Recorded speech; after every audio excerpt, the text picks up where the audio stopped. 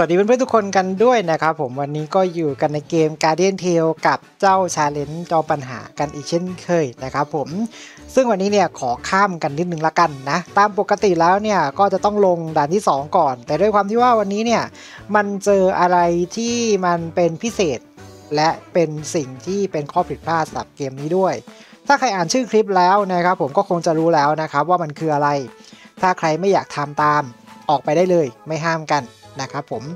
ตรงนี้เนี่ยเป็นผลประโยชน์ส่วนตัวคุณ ตรงนี้ผมจะบอกพูดไปก่อนเลยละกันนะครับผมไม่ว่าคุณจะผ่านสัปดาห์นี้ คุณจะผ่านสัปดาห์หน้า คุณจะผ่านสัปดาห์ถัดไป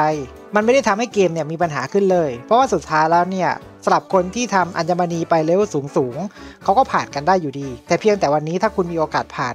ก็ผ่านก่อนได้ แต่ถ้าคุณไม่อยากจะผ่านก็ไม่เป็นไรนะครับ ผมก็จะขอพูดไปตรงนี้ละกันเนาะเกมมือถือสมัยนี้เนี่ยเป็นเกมที่มักจะต้องใช้เวลาในการเล่นและเวลาในการบอทหรือว่าเวลาในการเปิดเกมทิ้งไว้นานๆ ค่อนข้างที่จะเยอะมากในปัจจุบันเลยนะครับผมไม่ว่าจะเป็นตัวของเกม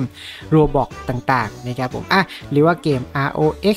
ROM หรือเกม b r i d g e b a t l e นะครับผมหรืออะไรก็แล้วแต่ที่เป็นเกมอื่นๆที่ผมอาจจะยังไม่ได้เล่นด้วยซ้ำนะครับผมซึ่งมันต้องใช้งานในเรื่องของการบอทอยู่ตลอดเวลาเลยนะครับผมวันนี้เนี่ยผมขอเสนอโปรแกรม UG Phone นะครับเป็นแอปพลิเคชันที่สามารถช่วยให้เพื่อนๆเนี่ยฟาร์มได้อย่างง่ายขึ้น แล้วก็สะดวกมากขึ้นด้วยนะครับผม UG Phone เนี่ยจะเป็นแอปพลิเคชันที่เป็นระบบ Cloud Phone นะครับผมมันเปรียบเสมือนเราเนี่ยมีมือถือเพิ่มขึ้นมาอีกเครื่องหนึ่งที่จะสามารถนำไปทำการเปิดบอท หรือ auto farm ในเกมต่างๆ ที่พูดถึงก่อนหน้านี้ได้ทั้งวันทั้งคืนตลอด 24 ชั่วโมงเลย ถึงแม้ว่าเราจะปิดมือถือทิ้งไปแล้ว ปิดคอมทิ้งไปแล้ว ปิดเน็ตทิ้งไปแล้ว ตัวเกมก็ยังคงฟาร์มให้เราอยู่ตลอดเวลา และมันเหมาะมากๆสำหรับคนเล่นเกมในสมัยนี้นะครับ ถ้าหากว่าไม่อยากจะให้มือถือเสียไว หรือว่าไม่อยากจะเปลืองเงินค่าไฟมากเกินไป UG Phone เนี่ยจะค่อนข้างตอบโจทย์มากๆนะครับ ราคาในการใช้งานเนี่ยเริ่มต้นเพียงแค่วันละ 10 บาทเท่านั้นนะครับ ผม ถ้าหากว่าใครสนใจในการดาวน์โหลด UG Phone ก็สามารถดาวน์โหลดได้ที่ลิงก์ใต้ description นะครับผมหรือว่าใส่โค้ด level 5เพื่อรับส่วนลดได้ 20 บาท หรือจะนำไปทดลองในการใช้งานก่อนได้เช่นกันนะครับอะสำหรับวันนี้เนี่ยเราจะมาพูดถึงบั๊กที่อยู่ภายในชาเลนจ์นะครับผมของเนื้อเรื่อง 2ด่านที่ 4 กัน เนื่องจากตอนนี้เนี่ยมันมีบั๊กอยู่ตัวหนึ่งที่ทำให้เราเนี่ยสามารถเล่นกันผ่านได้อย่างง่ายไดายแต่ก็ไม่ได้ง่ายมากขนาดนั้น เพราะมันมีเงื่อนไขบางอย่าง ที่อยู่ตรงนี้ด้วยเช่นกันนะครับสำหรับตรงนี้เนาะซึ่งผมเนี่ยจะมาแนะนำวิธีการทำบั๊กรวมถึงตัวละครที่แนะนำในการเล่นเพิ่มเติมสำหรับตรงนี้ด้วยละกัน ว่าเราจะเอาตัวละครตัวไหนในการเล่นดีนะครับผมสำหรับการเล่นบั๊กตัวของ Challenge Season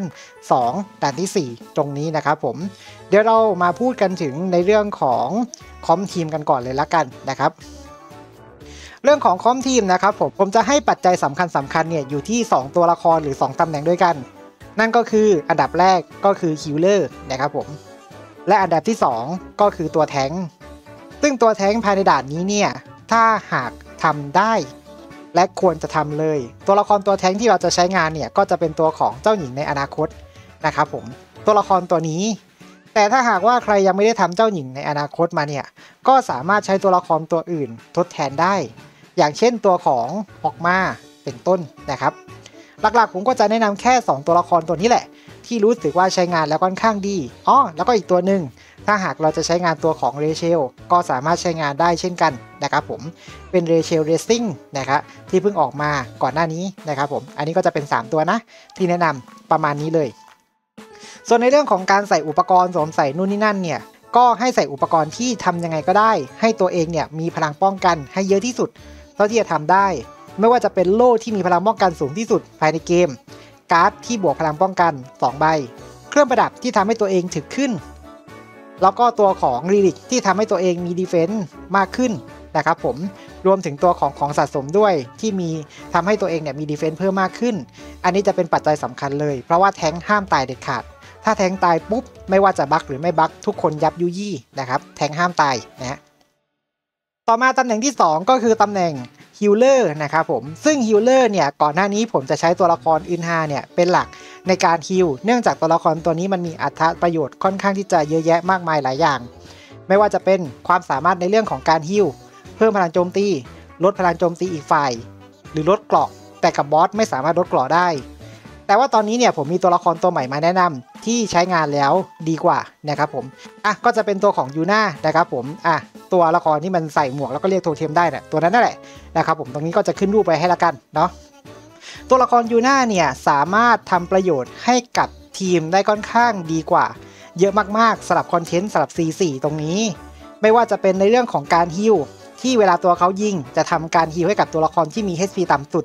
แน่นอนว่าตัวละคร HP ต่ำสุดของด่านนี้เนี่ยจะมีเพียงแค่แทงเท่านั้น ถ้าหากว่าตัว damage dealer ไม่เสล่อเดินไปโดนสกิลนะครับผม อันนี้เนี่ยก็จะพูดตามตรงเลยเนาะ เพราะว่า damage dealer เนี่ยถ้าเป็นไปได้ห้ามโดนสกิลเด็ดขาด เพราะว่าแทงตัวเดียวเนี่ยก็ heal จะไม่ทันอยู่แล้วนะครับ อันนี้ก็คือทำให้ตัวของยูน่าเนี่ยสามารถ heal ได้ค่อนข้างแรงต่อเนื่องแล้วก็รวดเร็วกว่าอึนฮาค่อนข้างเยอะ บวกกับอย่างที่2นะฮะสกิลอาวุธของยูน่าเองก็สามารถ heal ได้อย่างต่อเนื่องเช่นกัน ซึ่งมันจะทำให้ยูน่าเนี่ยสามารถ heal ตัวแทงได้ทัน ในกรณีฉุกเฉินที่แทงมันเลือด low มากๆจริง ๆ รวมถึงสกิล heal ที่มาจากสกิลอาชีพของเขาด้วย ซึ่งก็จะมี3 heal เลยที่จะทำให้ตัวของเขาเนี่ยมีความสามารถในการปกป้องเพื่อนได้ดีมาก และในเรื่องของการเรียกโทเทมเนี่ยก็ยังสามารถทำให้ ตัวของ monster หรือว่าบอสเนี่ยโดนลดพลังโจมตีด้วย และบางครั้งเนี่ยบอสเองก็จะไปตีโทเทมทำให้ตัวแท้งเนี่ยมีชีวิตสบายเพิ่มมากขึ้น หลักๆ ก็จะเป็น 2 key หลักตัวนี้นะครับผมถ้าใครมีแล้วก็ปั้นมานะ แต่ถ้าไม่มีก็จะใช้เป็นอึนฮาก็ได้นะครับผมแต่ถ้าหากว่าพลังฟื้นฟูไม่พอ อาจจะหิวไม่ทันนะฮะสำหรับตรงนี้แล้วก็ห้ามลืมปาหน้ากากเลย เพราะอึนฮาเนี่ยถ้าหากไม่ปาหน้ากากแท้งโดนขยี้ตาย เพราะว่าไม่มีการลด damage นะครับ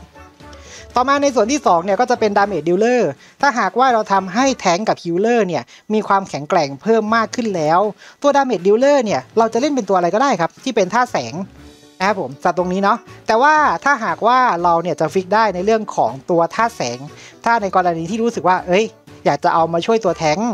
ให้ตัวแท้งเนี่ยมันอาจจะตายได้ยากขึ้น ก็จะมีตัวละครแนะนำทั้ง 2 ตัวละครด้วยกันนะครับผม ไม่ว่าจะเป็นตัวของยูจินอ่ายูจินนักบิดนะครับผมตัวละครตัวนี้ ซึ่งน้องเนี่ยจะมีความสามารถในการโจมตีแล้วก็จะลดพลังโจมตีของศัตรูได้ ถ้าหากว่ามีแล้วก็ปั้นเอาไว้ ก็ใช้งานตัวนี้ได้เลย หรือจะเป็นอีกตัวหนึ่งนะครับผมก็จะเป็นตัวของลาพิสที่ถือร่มนะครับผมซึ่งลาพิสที่ถือร่มเองเนี่ยก็มี damage ในเรื่องของการทำให้ทีมเนี่ยมีศักยภาพในการเล่นเพิ่มมากยิ่งขึ้น damage จะค่อนข้างจัดอยู่พอสมควร แต่ถ้าหากว่าใครไม่มี 2 ตัวละครนี้เนี่ย จะใช้ตัวละครตัวไหนเพิ่มเติมได้บ้าง ตัวละครของเลนาก็สามารถใช้งานได้ด้วยเช่นกัน เอามาเพิ่มพลังให้กับเพื่อนร่วมทีมนะครับผมทำให้เพื่อนร่วมทีมตายยาก แต่ถ้าหากไม่มีตัวละครเหล่านี้เลย จับอะไรมาก็ได้ครับเล่นไปเลย จะเป็น MK99 อีโร่ไคชุนเรียวคอเน็ตโอดินตัวไหนก็ได้ที่เป็นท่าแสงที่คุณทำไปแล้ว หรือถ้าหากว่าไม่ได้ทำพวกนี้ไปเลย จะเป็นตัวละครตัวอื่นที่เป็นธาตุมืดก็ได้ ที่อะไรก็ได้ที่ไม่ใช่ไร้ธาตุ จะเป็นเบดก็ได้ครับ เป็นหมออีกาก็ได้ครับจะเป็นลูปิน่าก็ได้ครับผมในการทำบัคเนี่ยไม่มีปัญหาในส่วนของตรงนี้ ขอแค่แทงไม่ตายทุกอย่างก็จะราบรื่น อันนี้ก็จะเป็นช้อยหลักๆ 2 ช้อยด้วยกันนะ ที่เราจำเป็นต้องรู้เอาไว้ ทีนี้เนี่ยพอเรารู้ในเรื่องของคอมทีมแล้วเนี่ยในเรื่องของการทำบัคเนี่ยจะทำยังไงบ้าง เดี๋ยวเรามาดูกันในคลิปที่ผมอัดเอาไว้เลยละกันนะครับผมสำหรับผู้เล่นทางบ้านที่เจอนะ เพราะว่าจริง ๆแล้วเนี่ยไม่อยากจะพูดอย่างนั้นอย่างนี้หรอกแล้วก็ไม่ได้อยากจะลงคลิปนี้สักเท่าไหร่ด้วยไม่ว่าไปห้องไหนถ้ามึงทำบัคไม่เป็นมึงโดนเตะครับ อันนี้คือพูดตามตรงเลยนะตอนนี้นะ ใครทำบัคไม่เป็น คุณจะโดนหมายหัว จนจำชื่อไว้ แล้วคุณจะโดนเตะ เพราะฉะนั้นตรงนี้เนี่ยอะไรที่ผ่านได้ได้ของทำไป อย่าไปอคติกับเกมมาก เพราะมันมีผู้เล่นหลายประเภท ผู้เล่นที่อยากจะชาเลนจ์ตัวเอง ผู้เล่นที่แค่อยากจะได้ของ และผู้เล่นที่อยากจะเล่นไปเรื่อยๆ เพราะอย่างที่ผมบอกว่าไม่ว่ายังไง สุดท้ายสัปดาห์นี้คุณอาจจะไม่ผ่าน สัปดาห์หน้าหินพลังเวทคุณเพิ่มขึ้น อาจจะยังไม่ผ่าน แต่สัปดาห์ถัดไปที่หินพลังเวทคุณเพิ่มขึ้นอีกเพิ่มขึ้นอีกอะยังไงคุณก็ผ่านครับร้อยเปอร์เซ็นต์นะครับผมจากตรงนี้เนาะอันนี้ก็คือจะพูดไว้ก่อนเลยละกัน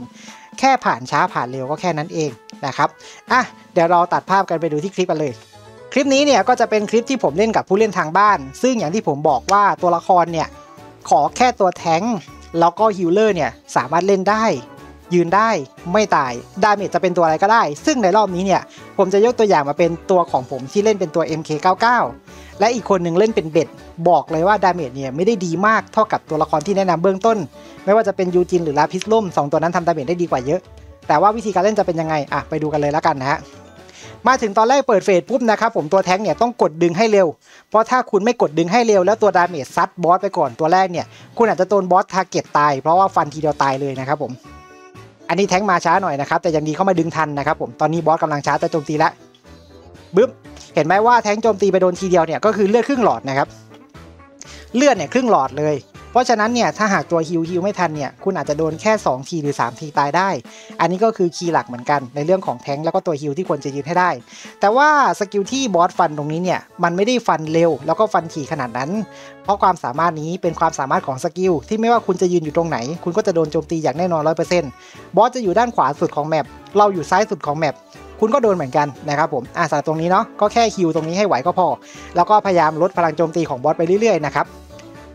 ตรงนี้เนี่ยบอสต่อมาก็จะเป็น phase ที่บอสเนี่ยจะเรียกลูกไฟออกมานะครับผมซึ่งมันจะวนรอบตัว บางทีมันก็ขยายเข้าใน บางทีมันก็จะขยายออกนอก ถ้าหากเป็นตัวที่โจมตีระยะใกล้เนี่ยคุณสามารถเข้าไปตีได้เลย ใกล้ๆ ยืนหน้าประชิดบอสเลย แต่สำหรับผมที่เล่น MK เนี่ยมันต้องทิ้งระยะในการโจมตี ไม่งั้น damage มันจะเบานะครับผมก็เลยต้องยืนห่างหน่อย เนาะแต่ว่าให้ระวังว่าหลังจาก phase นี้เนี่ยก็จะเป็น phase ที่บอสเนี่ยจะเรียกน้ำออกมาจากข้างๆ เป็น 2 wave นะครับ นั่นก็คือด้านนอกสุดแล้วก็ด้านตรงกลาง ให้เรายืนตรงกลางสุดนะครับผมก็จะไม่โดน damage ตรงนี้เนาะก็มายืนจ่อบอสได้เลย แล้วก็ทำ damage กันต่อ ตรงนี้เนี่ยคือไม่ต้องคิดอะไรมากเลยครับก็แค่ยิงยิงยิงยิงไปเรื่อยๆนะครับผมทำ damage ไปเรื่อยๆนะฮะส่วนแท้งเนี่ยเขาก็จะเป็นตัวที่เปิดโล่แล้วก็รับลูกไฟตรงนั้นออกไป มันจะทำให้ตัวของลูกไฟเนี่ยจะหายไปได้นะครับแต่ว่าสักแป๊บเนี่ยบอสก็คงจะหยิบออกมาอีก ทีนี้เนี่ยพอหลังจาก phase น้ำ phase ที่ 2 มันออกมาเนี่ยมันจะมีเสานะครับผมมันจะมีเสาพวกนี้แหละ ตกลงมา 2 เสาด้วยกันซึ่งมันจะเป็นเสาที่ถ้าหากว่าบอสใช้ skill พุ่งฟัน แล้วไปชนกับเสาจะทำให้บอสติด stun แป๊บหนึ่งนะครับผมซึ่งจะช่วยยื้อเวลาได้ประมาณหนึ่งนะครับโดย skill ที่เราจะสังเกตได้เนี่ยจะมีอ่าเดี๋ยวผมจะแนะนำวิธีการสังเกตด้วย แต่ว่าอันนี้เนี่ยจะเข้าสู่ phase ถัดไปนะครับ ซึ่ง phase ถัดไปเนี่ยมันจะเป็น phase ที่หน้าจอค่อยๆซูมออกมาประมาณนิดนึง และเราจะเห็นก้อนน้ำแข็งตรงนี้ก้อนหนึ่งซึ่งบอสจะเลือกไปทางด้านซ้ายก็ได้ ไปทางด้านขวาก็ได้ ให้เราสังเกตบอสดีๆ ถ้าบอสไปทางด้านซ้าย ให้เราวิ่งมาด้านขวา ถ้าบอสอยู่ตรงด้านขวา ให้เราวิ่งมาหลบทางด้านซ้ายของหลังก้อนหลังก้อนหิน เพราะเขาจะซัดคลื่นน้ำขนาดใหญ่ใส่เรานะครับ ผมจะมีจุดหลบเพียงแค่หลังก้อนหินอย่างเดียวเนาะอะสำหรับตรงนี้นะครับไม่มีอะไรลำบากขนาดนั้นเนาะตรงนี้แทงเขาก็จะพยายามไปยืนอยู่ตรงด้านหลังแล้วนะครับ เพราะว่าจะรอบอสเนี่ย skill พุ่งนะครับผม ตรงนี้ damage ก็ยิงไปเลยเรื่อยๆนะฮะ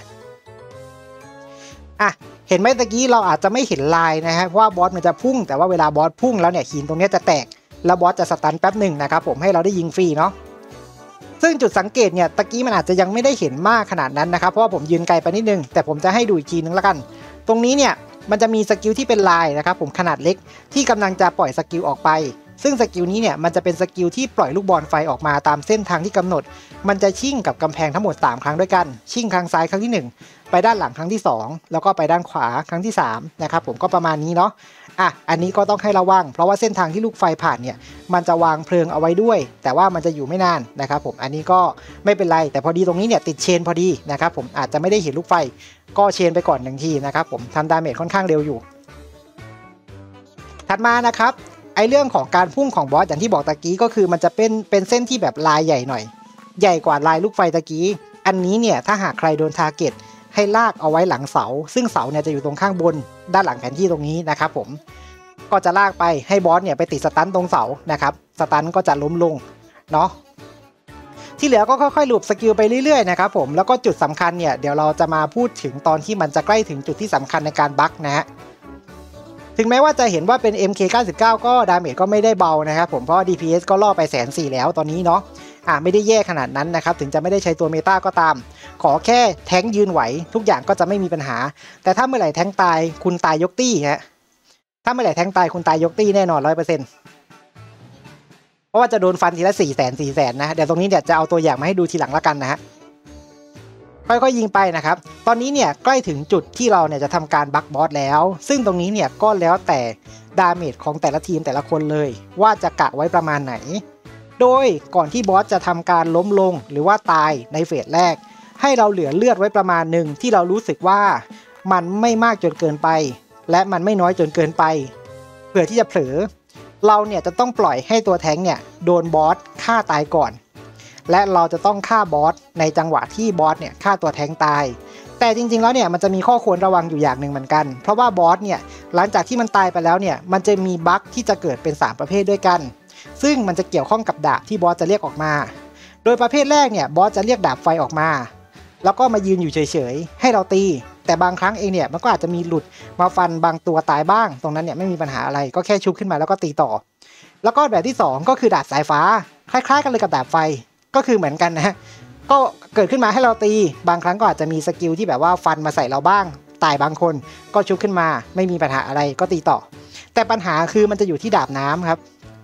ดาบน้ำเนี่ยมันจะเป็นตัวปัญหาในการ bug มาก ๆ เลย เพราะว่าดาบน้ำเนี่ยมันจะออกมาแล้วก็อยู่เฉยๆให้เราตีก็จริง แต่ว่าด้วยความสามารถของ skill ของดาบน้ำเนี่ยมันจะมีความสามารถที่จะสร้างน้ำวนบริเวณรอบๆ ดาบน้ำซึ่งถ้าหากว่าใครเข้าไปอยู่ในน้ำวนนั้นเนี่ย มันจะทำให้เราเนี่ยโดน damage และมันจะทำให้ตัวตีใกล้เนี่ยมันเข้าไปตีไม่ได้นะครับอะบวกกับ skill บอสที่จะฟันคลื่นน้ำสึนามิซ้ายทีขวาทีที่เราต้องหลบหลังหินเนี่ยมันค่อนข้างน่ารำคาญ และมันอาจจะจบช้ากว่าดาบไฟแล้วก็ดาบสายฟ้า ตรงนี้ก็ต้องระวังนะครับผม แต่ว่าวิธีการเลือกดาบตรงนี้เนี่ยจะทำได้อย่างไรบ้างเดี๋ยวเรามาดูกันนะฮะอะตรงนี้เนี่ยทางผมเองเนี่ยก็ยิงยิงบอสให้เหลือเหลือเลือดประมาณ 10 เปอร์นะครับผมก็คือ 10 หลอดนะฮะ ก็จะหยุดยิง แล้วก็รอให้แท้งเนี่ยโดน damage ตายนะครับแล้วก็ทำการยิงปิด damage ไปเลยนะครับผมให้เร็วที่สุด ซึ่งตอนนี้เนี่ยบอสเนี่ยเขาปล่อย skill ลูกไฟพอดี